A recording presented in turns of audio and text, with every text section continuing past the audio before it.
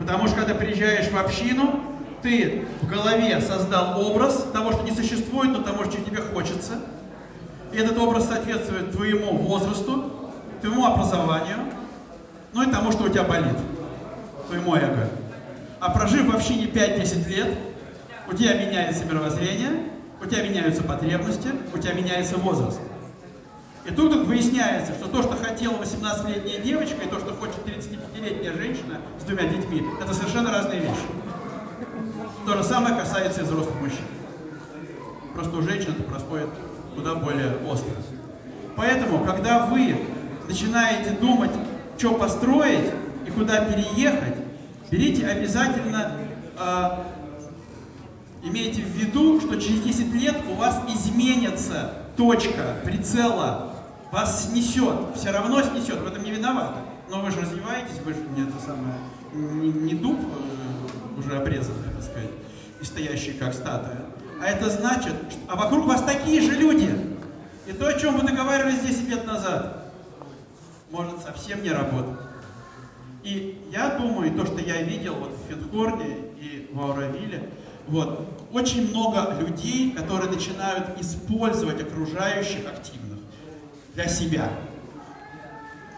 Выживает та община, ну, если это просто не поселковый, так сказать, хороший садовый товарищ, там никаких претензий-то нет. Выживает та община, где у главы угла стоит служение. Вопрос служения чему, да, начинается религиозная секта, значит, да, или служить своему собственному эго. Поэтому мы взяли детей. Вот с детьми-сиротами, вообще с детьми, там все понятно. Ты должен себя ограничивать, и у тебя есть какой-то смысл существования, потому что, ну, ясно, что дети нуждаются в твоей заботе, и если мы не пьем, то мы не пьем, потому что дети не должны видеть пьяных родителей, благо у них они уже были, и они поэтому стали сиротами. Вот. И если мы делаем ролевую игру с утра до вечера, так это потому, что мы хотим, чтобы дети поменялись. Это полбеды. Через запятую. А взрослый тебе говорит, я не собираюсь меняться. Мне уже 33, я все знаю. Мне тоже было 33, я тоже все знал.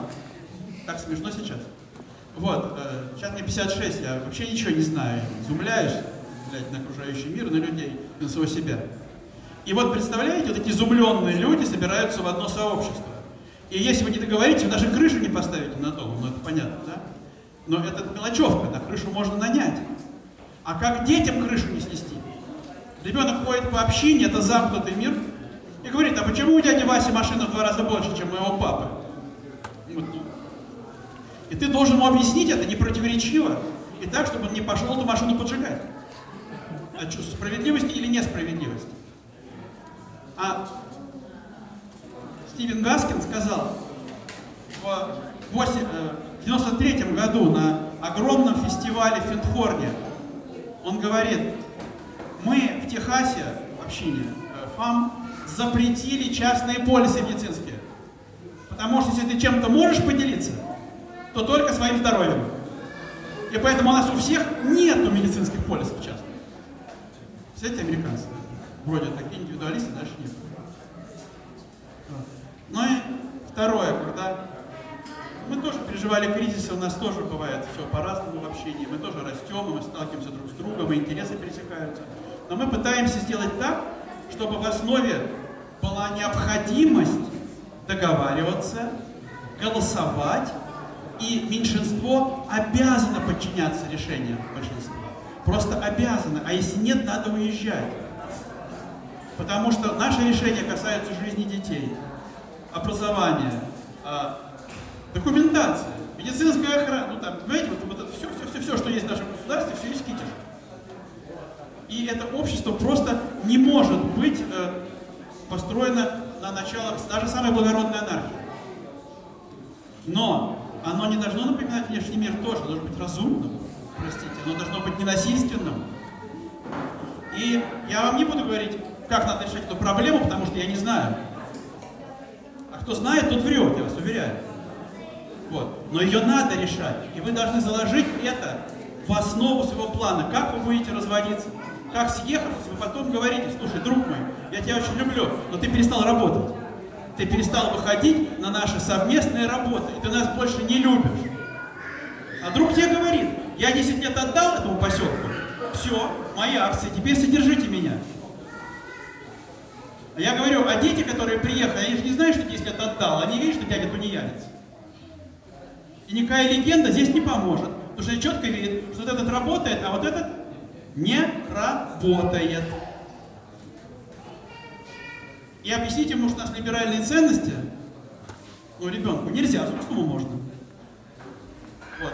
Более того, обычно, когда человек вырабатывается, мы так еще устроены, он чувствует свою собственную вину, и он дальше говорит, это вы виноваты, что такое происходит со мной.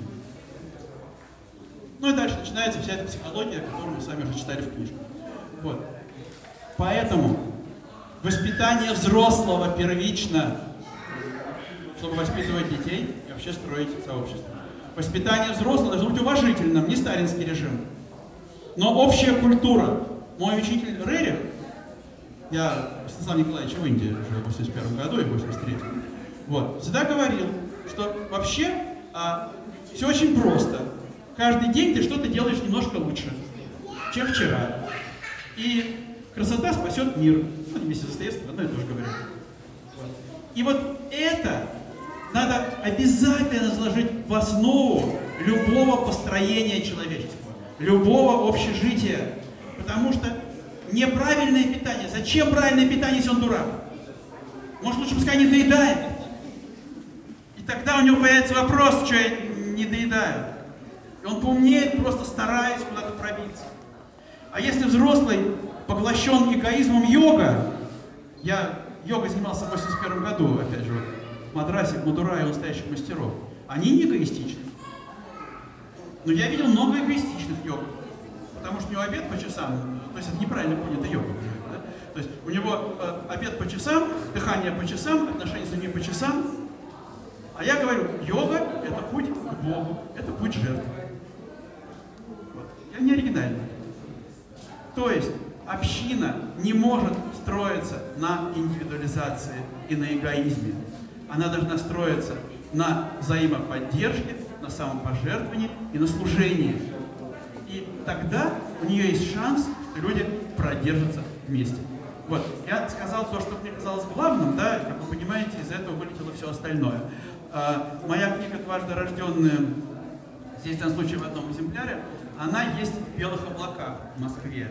Те, кто интересуется Махабхаратой и древнеиндийской философией, это мой, мой личный опыт из Махабхарата. Вот, белые облака на Тульской и белые облака на Моросейке. На Покровке, спасибо, да. А, вот, там раз наш представитель. Да. А, вот, очень рекомендую. И э, то, что я сказал, э, разбить стекла теплицы. Это о том, как меняется сознание у детей и у взрослых. Масса конкретики. Вот, вопросы. Осталось пять минут. Скажите, пожалуйста, как вы решаете конфликтные вопросы внутри вот, общины вашей? Конфликтные вопросы надо решать до того, как созрел конфликт. Воспитанием и высокой культурой. Значит, а, когда люди съехались вместе, без конфликтов не бывает. Вопрос в том, берете ли вы в свое сообщество людей конфликтных. Вот, мы не берем, это невозможно решить. Если человек решил идти на конфликт и сражаться, он снова на него пойдет и будет сражаться. Вот, поэтому мы говорим, дорогой мой, твое эго в данном случае нас не очень сильно беспокоит. Если оно у тебя есть, то оставайся в большом мире, тут интересно. Вот. А если ты вошел внутрь, оставь свое «я» за порогом. Это главный лозунг общины CPL в Америке, в Северной Короле. Они существуют 33 года. У них беспощадная жесткая дисциплина. Вот такая публика. Да, да? Не слышно.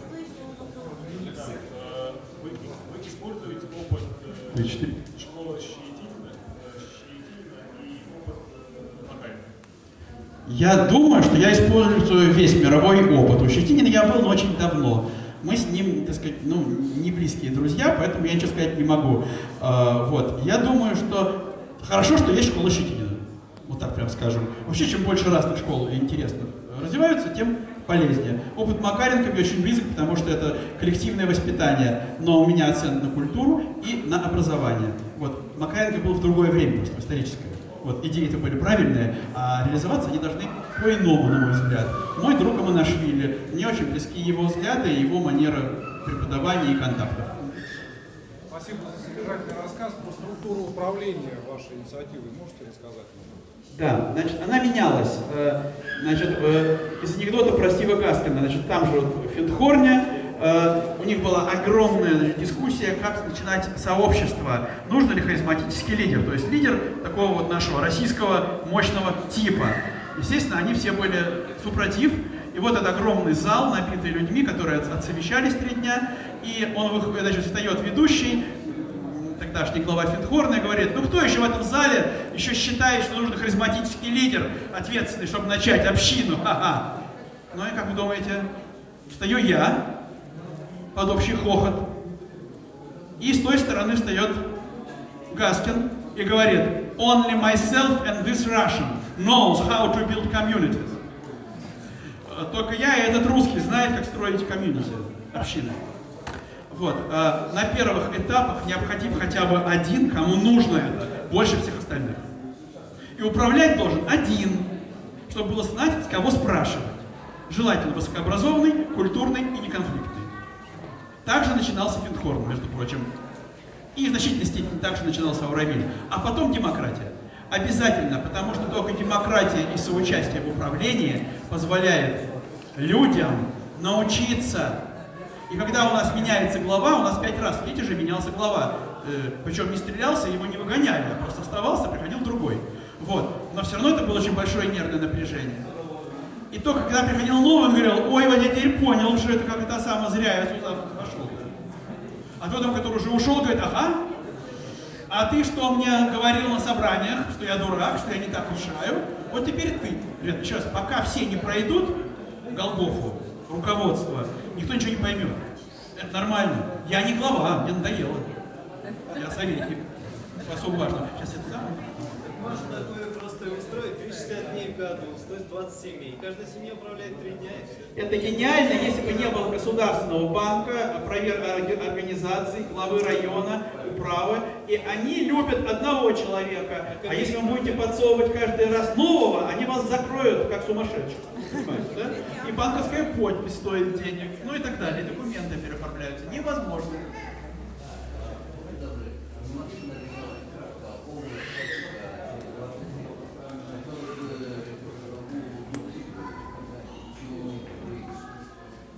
Мы идем к счастливому будущему.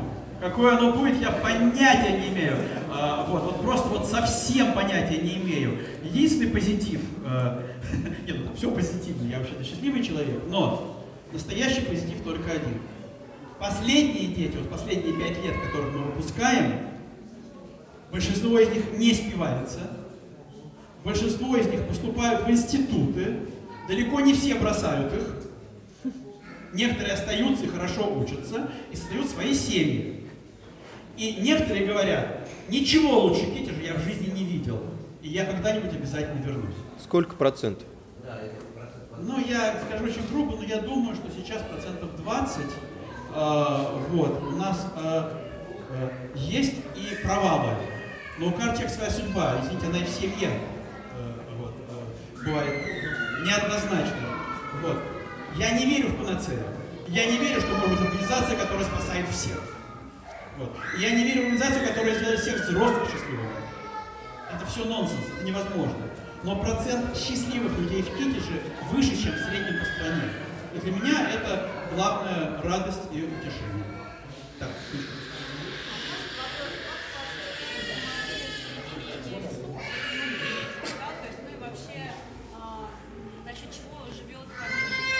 получаем приемные деньги, приемные родители, получаем зарплаты школьные, проводим лагеря летние и зимние, которые пользуются огромной популярностью, они действительно классные.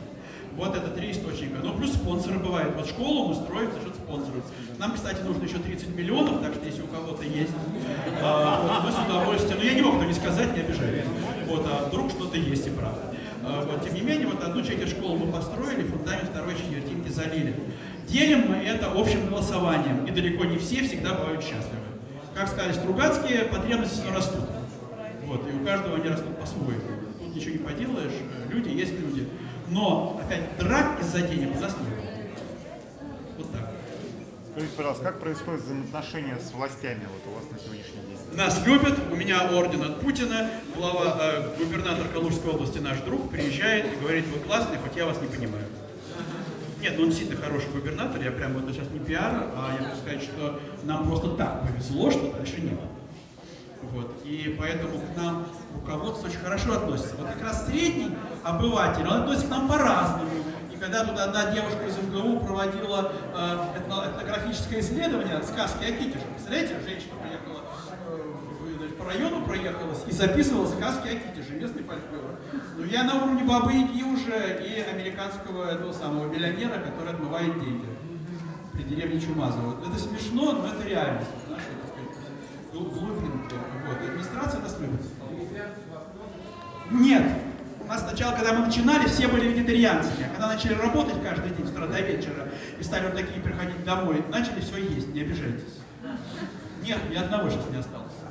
Со школы у вас как устроено? Это обычные уроки или там Со школы у нас, а, у нас государственная школа, мы пишем журналы, мы отдаем дневники, нам приезжает комиссия, мы все дрожим, как осиновые листы, но при этом у нас очень хорошие уроки, при этом мы позволяем себе вот, мастерские, философские дискуссии, осознания, а главное, вот то, что надо сказать, понимаете, мы не берем людей, которые не готовы работать все время. Поэтому у нас ребенок, вот как в 8 утра, он встал на зарядку, вот так до 10 вечера он находится под нашим любезным э, вниманием. И там чередуется. Я выхожу, у меня плащ пойти в поход на час. Я говорю, дети, идем в поход. Они, а, ну да, ура, там типа. А если не ура, слышь, пойдешь. Поэтому, значит, надо. Но пока мы идем, я им рассказываю про жизнь, показываю им красоты Родины. Они меня по-йоговски делают дыхание, кого-то я, так сказать, подгоняю ласковым отеческим, значит, словом. И в результате все в восторге вернулись. Потом у нас просмотр фильма, потом у нас секция ушу, потом у нас э, математика для двоечников, нас математика для отличников, потом у нас, ну, в общем, это все вот, ну, это, течет и все. Главное, чтобы взрослые были хорошие. Если их нету, никакая система не сработает. Кстати, Аманашвили, можно процитирую, он сказал, наука убила педагогику. Я с ним согласен. Если ты творишь, если ты любишь, дети будут каким-то образом все понимать и все набирать. Если ты слабак, ничего не можешь, никакая педагогика Ребята, друзья, друзья, время, тайминг. Ну, один короткий вопрос, да.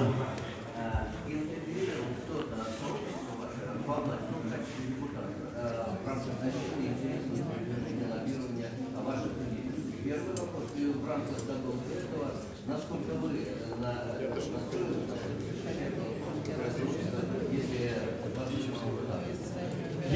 Настроен защищать свое сообщество, я не хочу, чтобы меня выбрали депутатом. Спасибо. Э, Первое. Значит, второе. Э, Конечно, очень хочется, чтобы из нас выходили не только ученые, но и политики и административные сотрудники. Пока нас слишком много взрослых, э, слишком мало взрослых, которые, которых не хватает ни в Китеже, ни в Орионе. Я от всей души приглашаю молодых, активных, умных, неконфликтных преподавателей, фермеров, водителей, строителей и всех остальных к нам в Китиш и в Орион. Попробовать пожить и поработать. А вдруг кто-то из вас захочет остаться. Нам крайне нужны люди. Единственное, что, прошу извинить сразу, возрастной ценз и нужная профессия. Вот. э, ну и умение выживать и обживаться с нами. Вот. Это очень важно. На этой оптимистической ноте мы заканчиваем. У меня вот здесь вот, мы сейчас там в уголочке вот сядем, у нас там книги «Разбить стекла теплицы», наши буклетики по игре, которая сейчас будет в Орионе, и вообще буклетики тем, кто захочет с нами выйти на контакт. И Антон сейчас напишет сайт, который тоже можете записать. Пиши. Вот. Все, большое спасибо, что были терпеливы. Видите, а, Подтверждаю сказанное, я лично был в Китеже три дня и два раза по 10 дней волонтерил в Орионе. И, а, опять же, можно сколько угодно читать книг, смотреть фильмов, но пока ты не приедешь и проживешь хотя бы неделю, не все понятно, как происходит. Вот Гузель, можно подтвердить, да, как э, волонтера Китежа Ориона, для понимания, как это вообще возможно, прям приехать на выходные, на неделю, на две, насколько можете, шикарный опыт, рекомендую. Итак, друзья, мы продолжаем наш форум загородной жизни. Я рад видеть много новых лиц. Здесь экспертная лаборатория, а в соседнем дальше, дальше по коридору а, э, лаборатория экобизнеса. И там сейчас будет доклад а, Виталия Мишукова про аграрно-рекреационно-жилые кластеры.